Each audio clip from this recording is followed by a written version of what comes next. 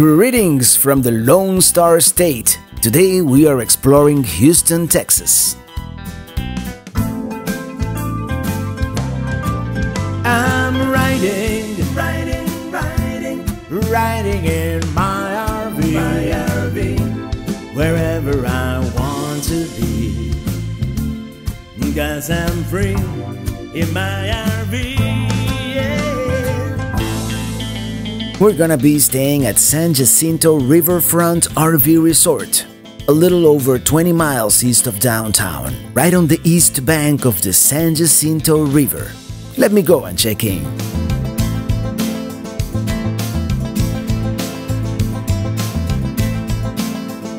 Here we are. This is our pull through site. They're supposed to have an infinity pool on the other side, so let's go check that out. It is a very large, very clean RV resort, two swimming pools, and some sites even have their own spa. Here's the San Jacinto River, and there are some very nice riverfront sites. And across the river, we can see all these industrial installations, oil refineries. Also out there, the San Jacinto Monument. The RV park has all these colorful cottages as well. If you don't happen to have an RV, you can stay in those. And here's the infinity pool. Very nice, with this view of the river. And it's really hot today, so you know what I'm gonna do? I'm gonna go back to the RV and grab a couple of towels and take a dip in the pool. The spa? Hmm, it might be too hot for that. Going back, it's very hot here in Texas today. It's in the 90s, probably feels like 100. But the San Jacinto River or Jacinto, I have no idea how to pronounce it.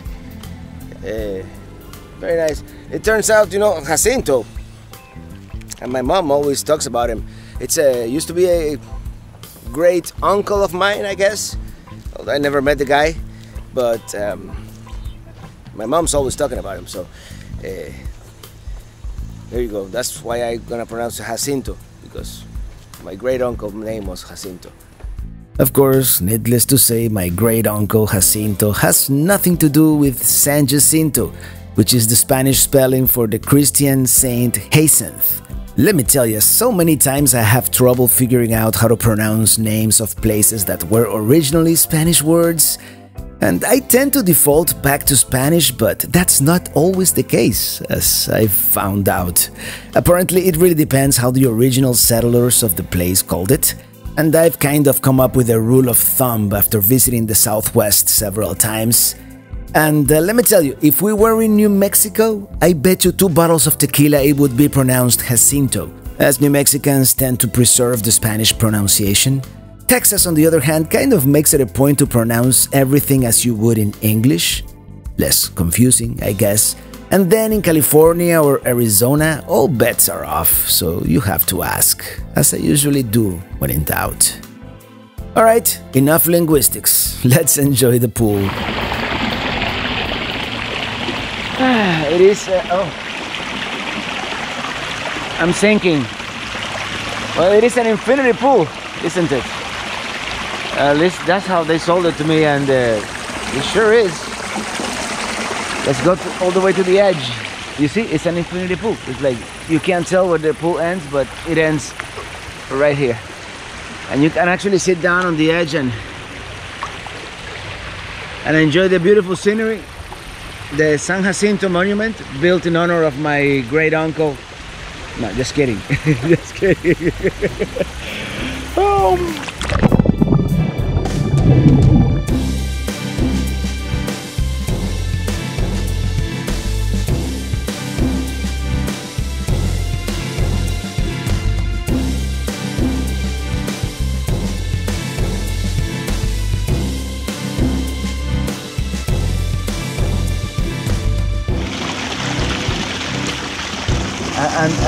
Have a spot. They have a spot. Let's go explore.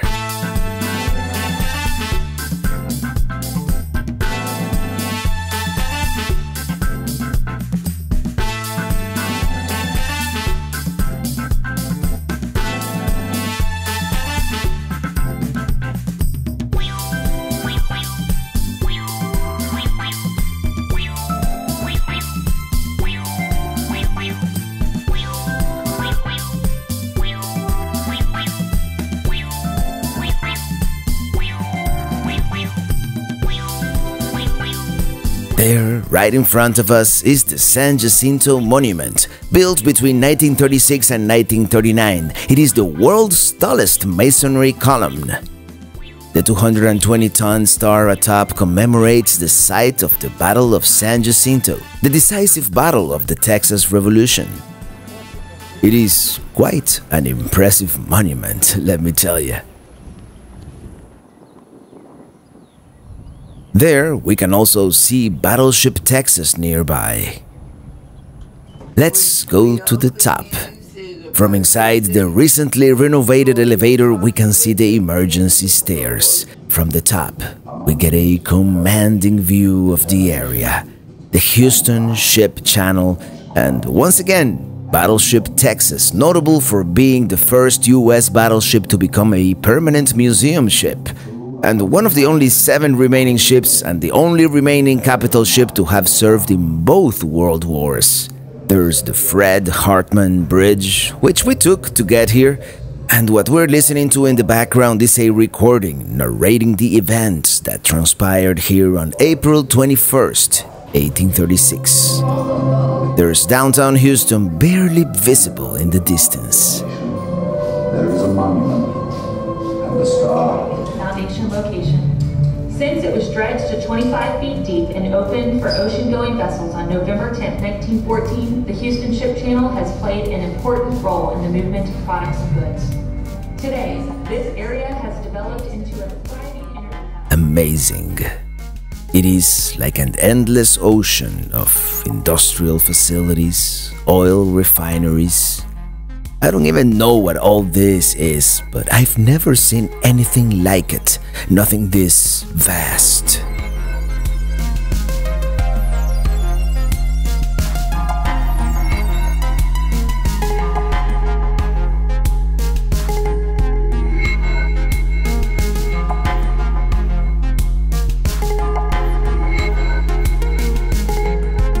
And somehow, nature manages to coexist.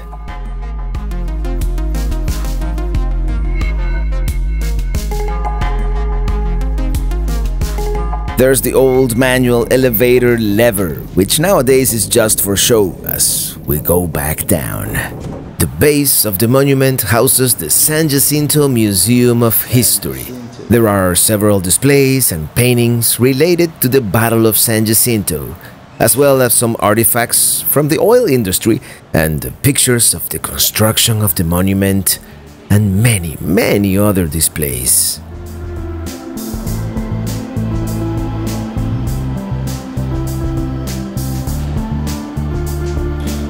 Finally, here we have a model of Battleship Texas, which we will visit some other time, I promise. Outside, they are starting to lower the six flags of Texas, and he's doing the Mexican flag right now. And the six flags, of course, Spain, France, Mexico, the Republic of Texas, the United States of America, and the Confederate States of America. Well, this was really cool. I really enjoyed seeing the monument. Now, let's continue. Let's go eat. Hmm, I wonder what happened there.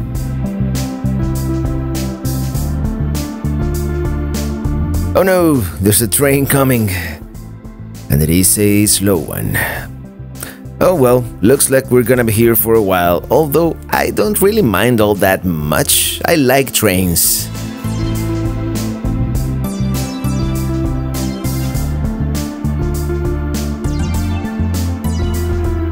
Ooh, chlorine. Inhalation hazard. I'll hold my breath, just in case.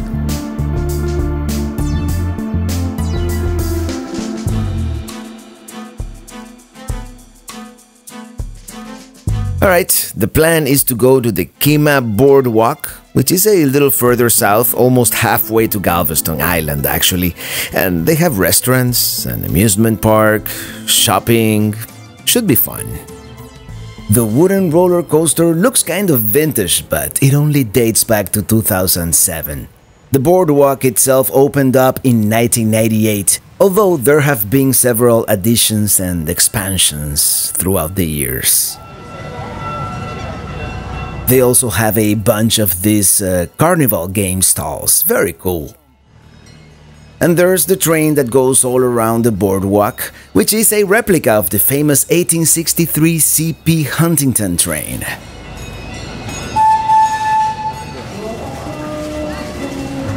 Plenty of restaurants, and it seems to be a pretty cool place for the locals, you know, mainly families to hang out. It being a Tuesday, it doesn't seem very busy, but I betcha it gets packed on the weekends.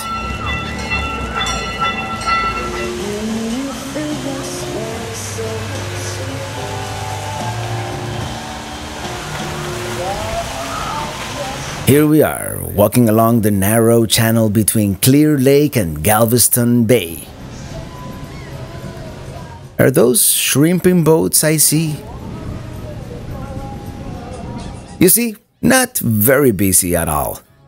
Lots of birds though, and I bet you all those birds and these two cats here eat better than you and me. Hello there.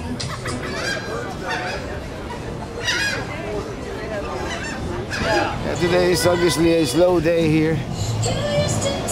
Okay, enough wandering around. Let's find something to eat, and being so close to the Gulf, it kind of makes sense to try the local seafood. We sit at the bar while we wait. There is about a half an hour wait time. Alright, it is almost time. Let's take our drink outside and join all the other people waiting. The birds are such a nuisance that the servers have to come out in pairs, one in charge of carrying the food and the other one to scare the birds off. Tell you what, let's go someplace else. Cool, they have street performers.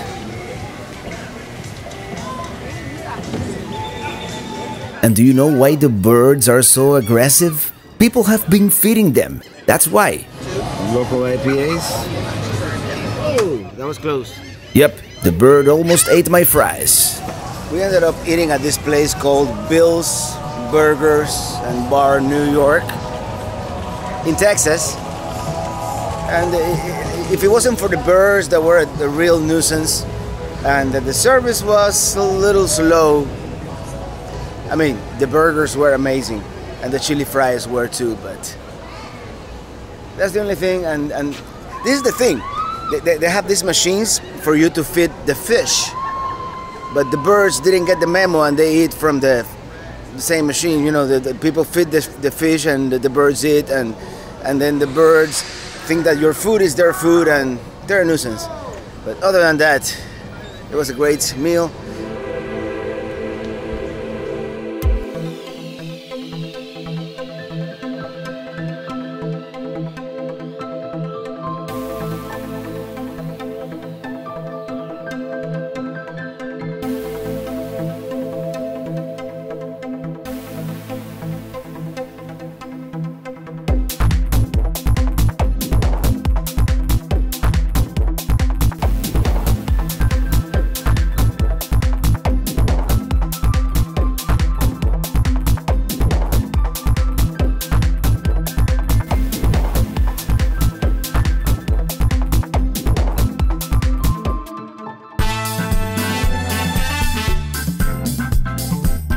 And good morning to y'all. Today we are going to explore downtown itself. But first, I have some CDs and stickers to mail. TravelingRoberts.com slash stickers if you want to get yours. We like to explore cities as much as we do nature, especially when we're talking about one of the great American cities, Houston, Texas. Number 4 in the USA, actually, population wise.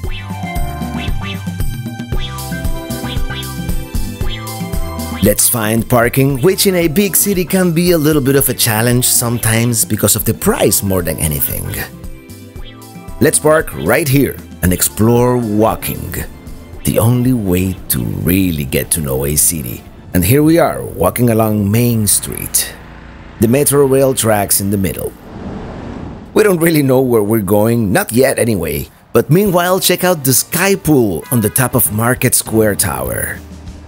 Here's the famous, actually iconic Houston Is Inspired mural. It was originally part of an advertising campaign, although it has become a landmark on its own right. It is still early, so there's not too much activity around the city yet. Although it is past noon, so I suspect the city will be coming alive very soon with lunch hour traffic. Here we stumble upon Market Square. Very nice, actually. There is some street art here on Market Square as we continue walking around. This La Carafe bar, we wanted to see it, but it is closed. It is actually supposed to be haunted, and it happens to be the oldest commercial building in the city.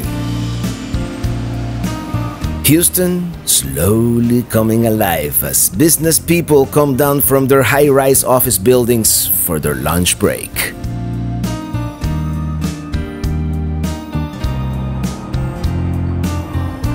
Definitely a vibrant downtown, especially at this time of the day, at least Main Street. So many places to eat, so many choices.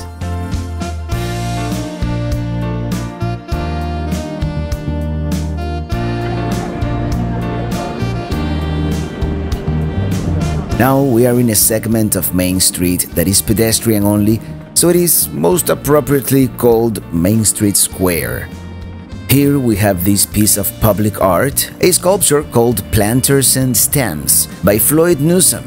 It represents the development of Houston and its entrepreneurs.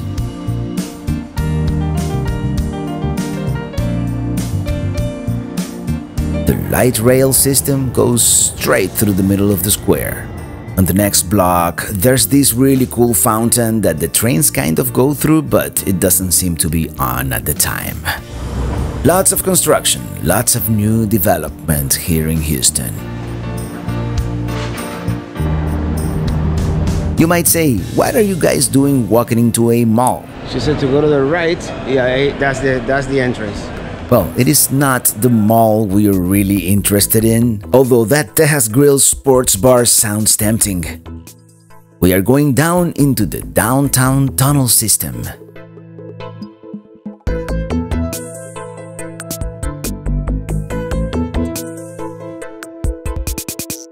This expansive network of tunnels connects 80 downtown buildings. But they are kind of hard to find because the entrances, like the one we came in through, are inside the buildings. And I've heard that it's really easy to get lost down here. We've seen tunnel systems similar to this one before in cities up north, mainly designed to protect people from the cold and the snow and the elements. This one is a nice air conditioned respite from the hot and muggy surface street level.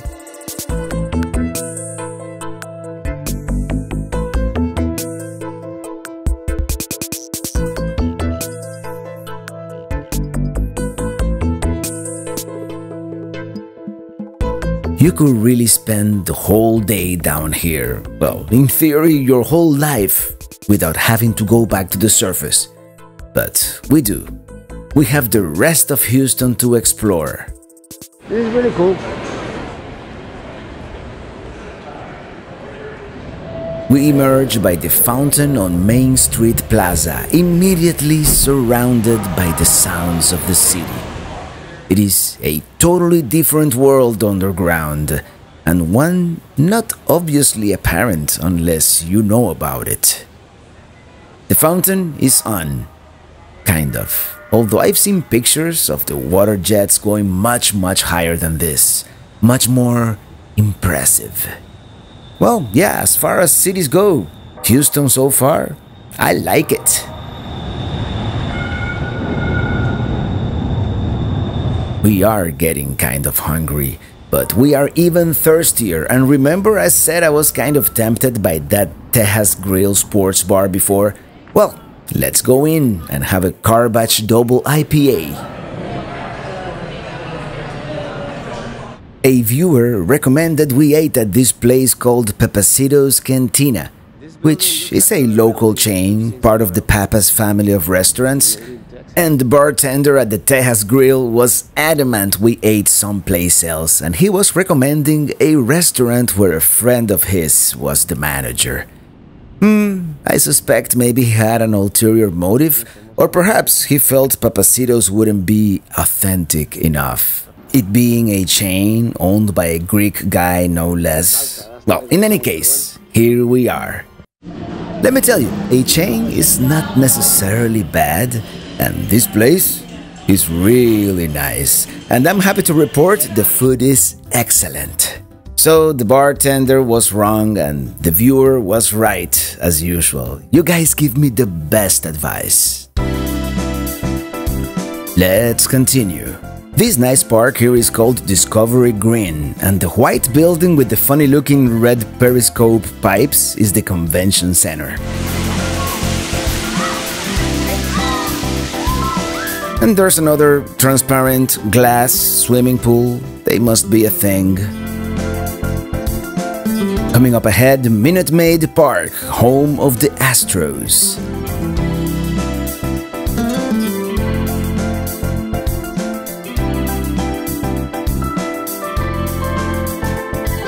And there's Irma's, the restaurant the bartender recommended actually. And we've gotta move the car. Our parking expired. It turns out there's another YouTuber, video creator in town, one of the original van life travel vloggers, before van life was even a thing. So we're looking forward to meeting him in person. This looks like a good spot. Okay, make up your mind. Anyways, there is plenty of parking. We're actually parked in front of the Christ Church Cathedral, the city's first religious congregation, founded in 1839. Here's where we're going, the Flying Saucer, located in the former S.H. Kress & Co. building dating back to 1913. Nowadays, Saint-Germain lofts, luxury condos. I love to see the juxtaposition of the old with the new. And this is a prime example 609 Main completed in 2017.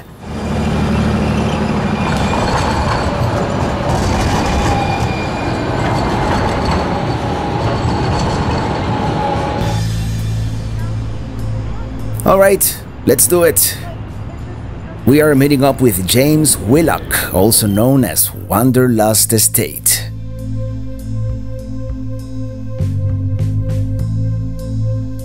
Cool bar, by the way.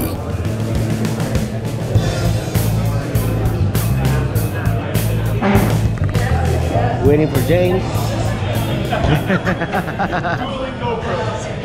it is James, the Wanderlust Estate himself. meet Robert here.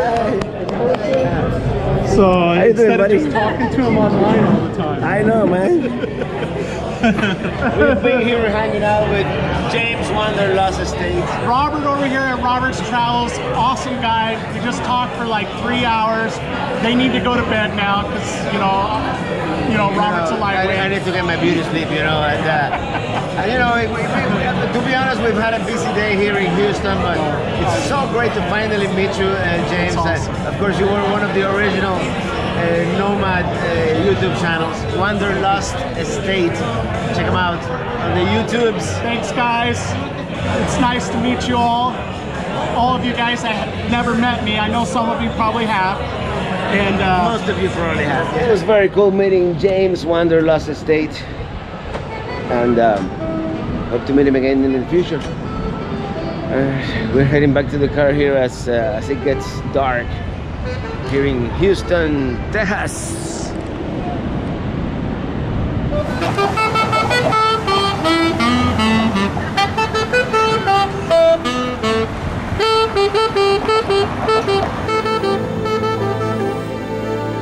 Well, time flew today.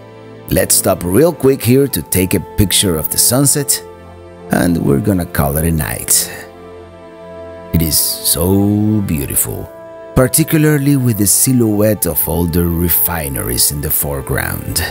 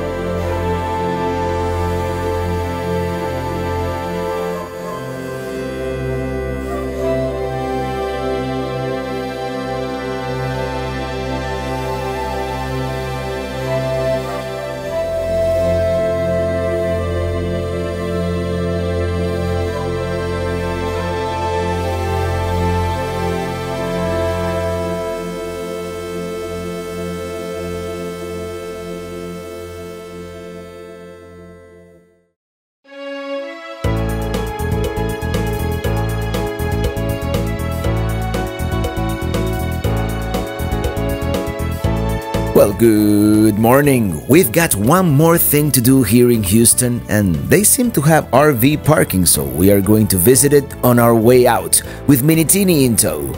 And if you guessed the Space Center, you are correct.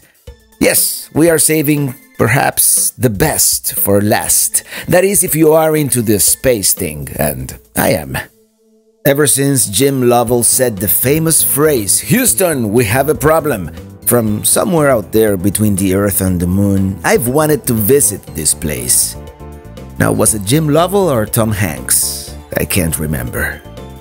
We're parked here at the Johnson Space Center or Space Center Houston. I think it's the official name. They have bus and RV parking, so if you come, you know where you can park with your RV. It is a little bit overwhelming when you're walking, let me tell you, but I love all this stuff. Anything space related the lunar module.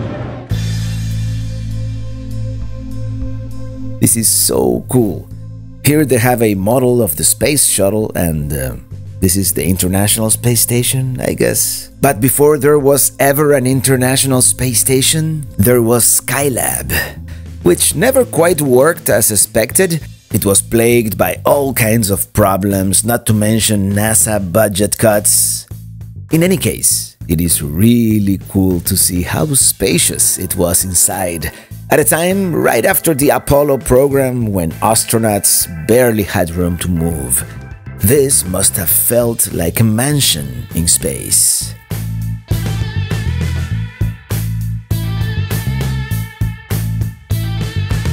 Cool, a space toilet. Let's check out Independence Plaza, where they have the modified 747 that used to carry the space shuttle. That's a nice picture. Ooh. There it is. It is actually quite impressive to see it in person.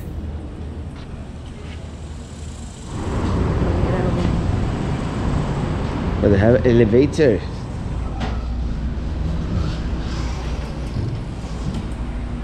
The top floor here is Space Shuttle Independence. Not an actual space shuttle, but a full-scale high-fidelity replica which was originally on display at the Kennedy Space Center in Florida. From 1993 until 2011 when it was replaced by the retired Atlantis, an actual space shuttle. In 2012, they moved it here, and in 2014, they put it on top of the plane.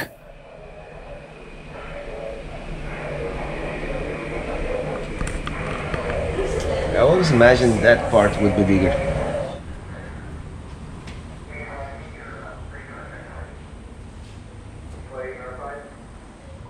Let's go into this room here on the lower level. It kind of looks like a storage room with a bunch of lockers, apparently part of the living quarters as well. This seems to be the airlock, perhaps, and they have an EMU spacesuit, specially designed for the Space Shuttle program First of all, they were reusable, unlike previous versions of the spacesuit. It had air pressure and temperature control. It was practically a wearable spacecraft. Is that a GoPro? No, that's an astronaut. Oh, forgive me, but that's a toilet. This is a representation of many of the payloads the space shuttle carried out into space. Oh, Let's go to the plane. NASA 905 here was one of two SCA, short for Shuttle Carrier Aircraft, which was an extensively modified Boeing 747. They were used to transport the space shuttle from its landing location back to the launch facility at Kennedy Space Center in Florida. Its few final flights were to deliver retired space shuttles to their respective museums. The only part of the aircraft that remained nearly unchanged was first class, for NASA personnel. The original American Airlines first class seats.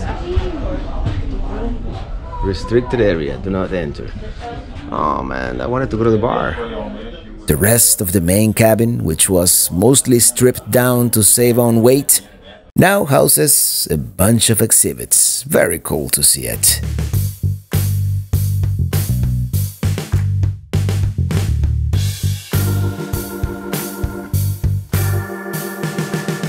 Yeah, that's the bulkhead that they built to support the weight of the shuttle.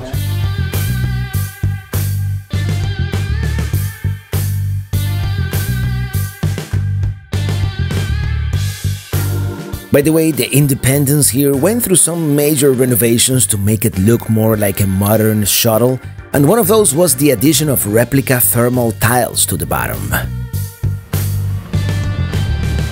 Very cool. Very cool to see.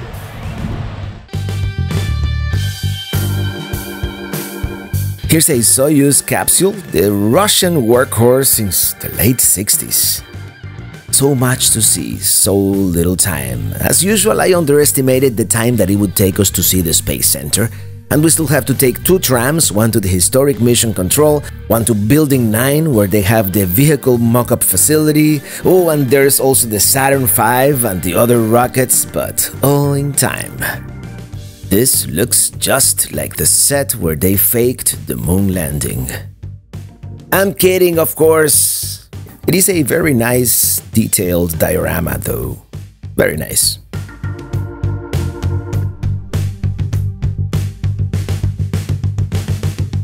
Here we are, about to touch a moon rock. And this is a Mercury capsule.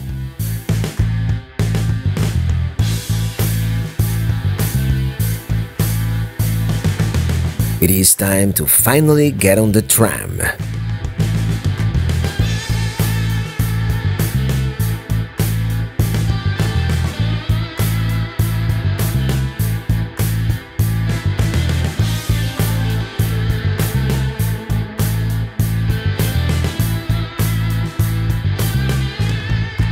Here we are at the historic Mission Control Building, and they have this display illustrating the evolution of computers at Mission Control. And uh, that's all I'm gonna be able to show you. They are using Mission Control for the upcoming lunar missions, so since they are doing real work in there, photography is not allowed.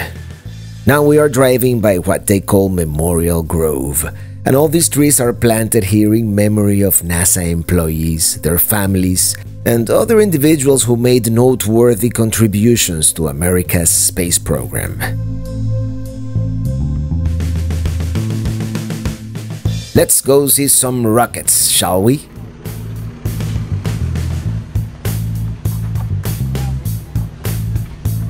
Here's Little Joe 2, named after the first rocket designed for manned spaceflight. This one, however, was used to test the systems for the Apollo program. And here's a Mercury Redstone, the first one to put Americans in space.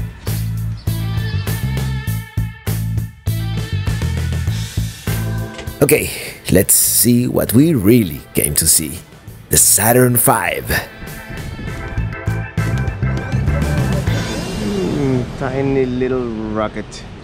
Actually, tiny is the capsule sitting atop compared to the size of the rest of the rocket, which is taller than the Statue of Liberty when standing up.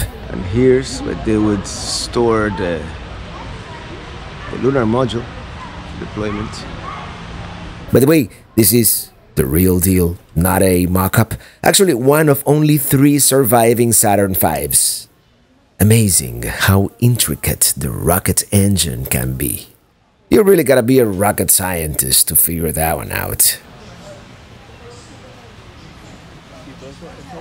Yeah, this was really cool.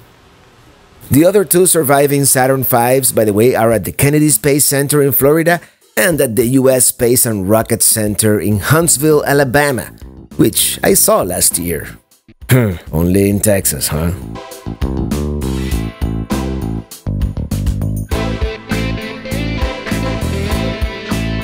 We're gonna hop on yet another tram to visit the Space Vehicle Mock-Up Facility.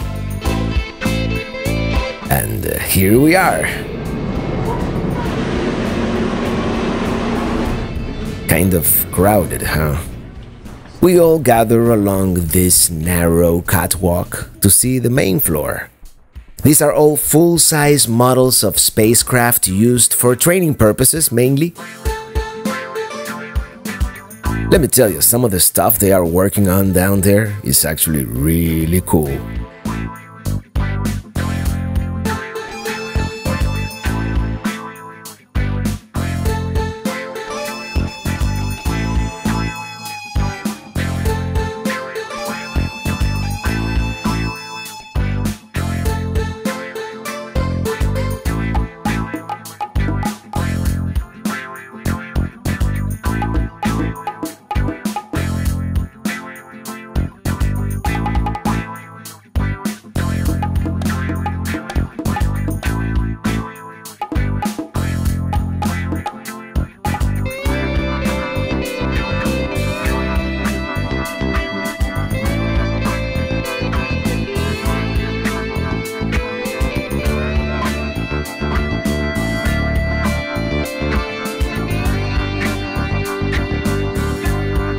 I'm gonna say one last thing. That's gotta be one super interesting job working here. Well, time's up. We're like four hours behind schedule, but the delay was well worth it. Visiting the Space Center is a must if you are in Houston. Of course, leave it up to us to attempt to drive across Houston in the middle of rush hour traffic. Yep, impeccable timing.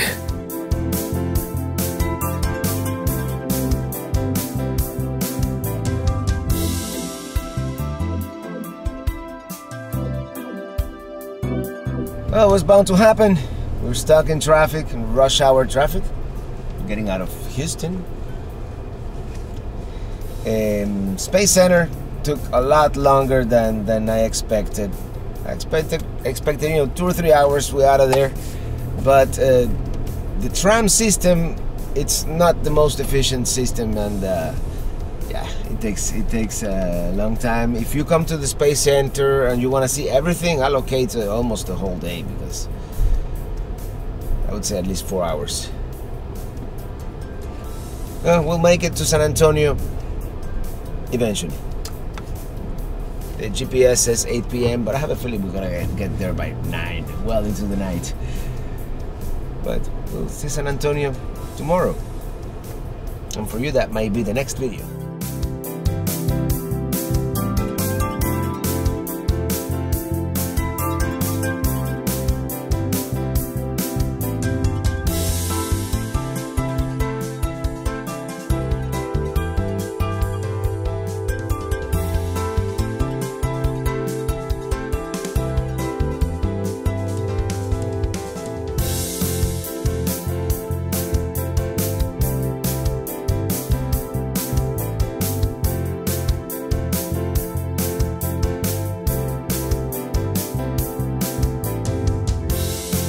It is a long, long, uneventful drive from Houston to San Antonio.